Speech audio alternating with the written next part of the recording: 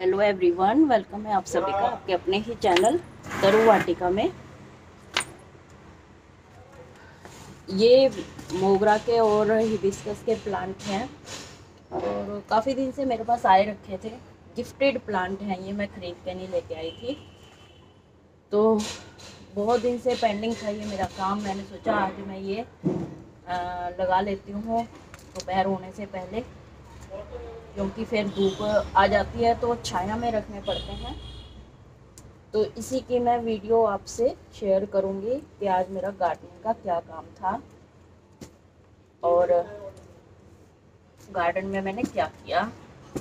हालाँकि ये वाली रिपोर्टिंग मैंने पहले भी दिखा रखी है कि कैसे रिपोर्टिंग करनी है हिबिस्कस की और इसकी मोगरा की। तो उनका लिंक मैं डिस्क्रिप्शन में बॉक्स में दे दूँगी। आप जाके देख सकते हैं। लिंक पे क्लिक करके। और कुछ अल्टा पल्टी करनी पड़ती है। अगर आप नए पोट नहीं लाना चाहते तो गार्डन में ही कुछ जुगाड़ करके इधर से उधर करना पड़ता है।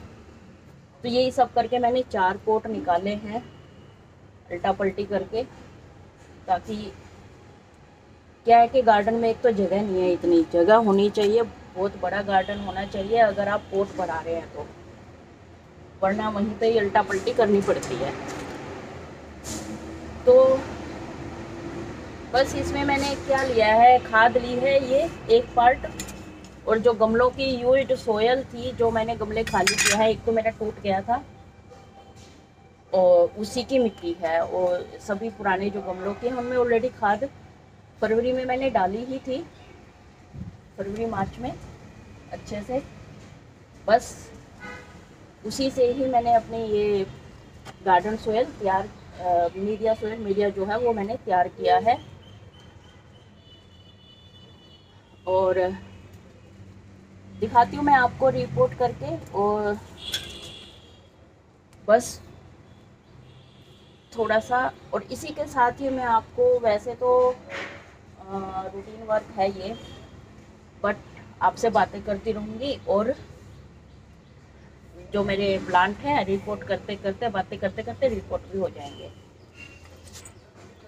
तो बस यही है कि अगर आप का थोड़ा सा भी इंटरेस्ट है गार्डन में गार्डनिंग में तो आप अपने आप भी प्लांट्स को लगा सकते हैं। अगर आपके पास पोट्स अवेलेबल हैं नहीं तो अपना आसपास नियर बाई होते ही हैं पोट बेचने वाले।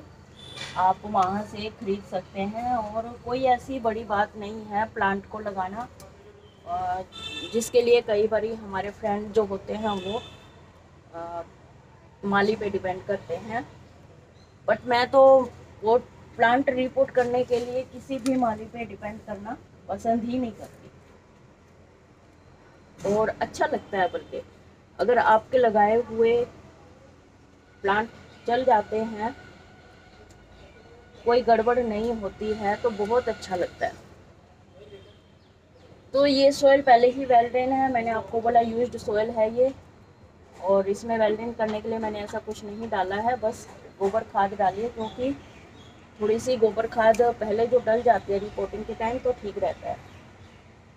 और कभी भी रिपोर्टिंग करते हो आप तो उसको रिपोर्ट करके आप उसको धूप में मत रखिए। सेमी शेड में रखिए शेड में रखिए चार पाँच दिन के लिए। और फिर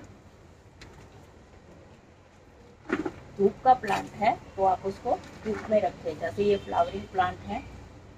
तो आफ्टर वन वीक या पाँच छः दिन के बाद मैं इसको धूप में रख दूँगी, जब ये चल पड़ेगा। अच्छे से। और कई बार क्या होता है, जब हम प्लांट रिपोर्ट करते हैं तो वो थोड़ा शौक में आ जाता है। इसका मतलब ये नहीं है कि आपका जो प्लांट है, उसके पत्ते मुरझाए मुरझाए होते हैं। इसका मतलब ये नहीं है कि आपका प्लांट अच्छे से नहीं लगा ये, या फिर खराब हो गया। आप उसमें रेगुलर वाटरिंग करते रहिए। और थोड़ा लेट हो जाएगा वो भी। बस इसको ज़्यादा डिस्टर्ब ना करते हुए। देखिए, बिल्कुल रेतीली मिट्टी है इसमें। ऐसा रखें लेवल थोड़ा सा कि उसमें वाटरिंग के लिए स्पेस हो जाए।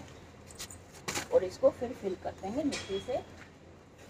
कुछ भी नहीं होता प्लांट को रिपोर्ट करने में। लोग इतना अपना पैसा खाम खाई में माली को दे देते हैं। इतने में तो हम अपना कोई और न्यू प्लांट ला के लगा सकते हैं गार्डन ऐड कर सकते हैं। ये देखिए बस। इसको टैप कर लीजिए, ताकि जो एयर वैक्यूम एयर जो वो बने हुए हैं एयर स्पेस है, वो हर जगह मिट्टी पहुँच जाए एयर स्पेस ना रहे बस हो गया रिपोर्ट कुछ भी नहीं करना होता। ये देखिए, मैंने यहाँ तक मिट्टी फिल करी है, ताकि इतना जो पानी है, पानी के लिए स्पेस हो। बस। दैट्स ऑल अब मैं इसको धूप में रखूँगी। धूप में सॉरी छाया में रखूँगी। और ऐसे ही मैं आपको सभी लगा के दिखा देती हूँ। टोटल ये प्लांट्स मैंने लगाए हैं। आप देख सकते हैं। वैसे तो अवॉइड करना चाहिए इस मौसम में प्लांट्स लगाने का रिपोर्ट करने का। लेकिन क्या है, अगर सुबह के टाइम रिपोर्ट करा जाए ठंडे ठंडे या शाम के टाइम तो कोई दिक्कत नहीं होती है। बस इसको रखें थोड़ा छाया में पाँच छः दिन के लिए, ताकि ये शौक से बाहर आ जाए और फिर इनको फ्लावरिंग प्लांट है तो बाहर धूप में सनलाइट की ज़रूरत है तो वहाँ पे रख देना चाहिए। तो और इसके साथ ही अगर, कई स्टेम भी हम लगा सकते हैं, जैसे इसकी है, कल मैंने, परसों मैंने जो वीडियो आपसे शेयर करी थी कोलियस की, इसकी कटिंग तो कभी भी चल सकती है। नहीं तो कटिंग लगाने का बेस्ट जो मौसम है वो बारिश का टाइम ही होता है, या फिर अक्टूबर, नवंबर होता है।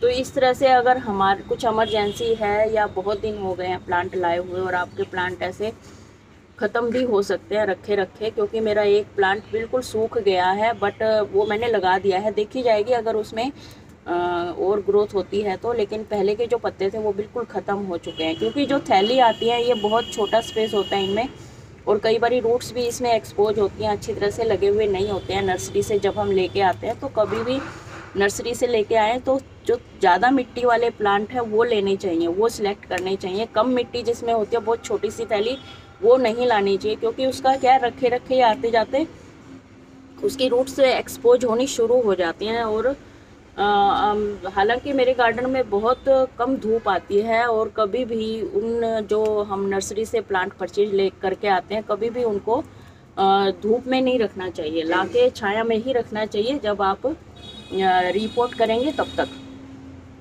तो इस तरह से धूप का जो असर है वो उन पर नहीं होगा। और आपका प्लांट अगर आप और दो दिन बाद है, आ, करते हैं आ, रिपोर्ट तो कोई दिक्कत नहीं होगी कोई नुकसान नहीं होगा। तो देखिए ये जब मैं लेके आई थी तो मेरे ये बहुत हरे भरे प्लांट थे। अब धीरे धीरे इनके पत्ते सूखने लग गए तो मैंने सोचा चलो रिपोर्ट कर ही देते हैं। तो ये तो थे कुछ टिप्स जो मैंने आपको दिए गार्डनिंग का काम करते हुए। अब मैं इनमें वाटरिंग करूँगी और वीडियो बहुत ज़्यादा लंबा हो जाएगा, बातें करते रहेंगे, बातें कभी ख़त्म नहीं होती हैं। इसी के साथ ही वीडियो को एंड करते हैं। जो फ़र्स्ट टाइम चैनल पर हैं उनसे रिक्वेस्ट है कि चैनल को सब्सक्राइब करके जाएँ। अगर आपको थोड़ा सा भी अच्छा लगा है इस वीडियो में, कुछ भी अच्छा लगा है तो चैनल को सब्सक्राइब करें जा, करके जाएँ ताकि आपको ऐसी ही इंटरेस्टिंग वीडियो फ्यूचर में मिलती रहें सबसे पहले। तो चलते हैं नेक्स्ट अपडेट के लिए, फिर मिलते हैं।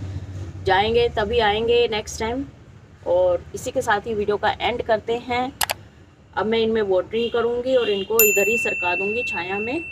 और यहाँ से साफ़ सफ़ाई क्लीनिंग करूँगी, जो एक्स्ट्रा मिट्टी बच गई है। फिर से मिलते हैं नए अपडेट के साथ। तब तक के लिए गुड बाय टेक केयर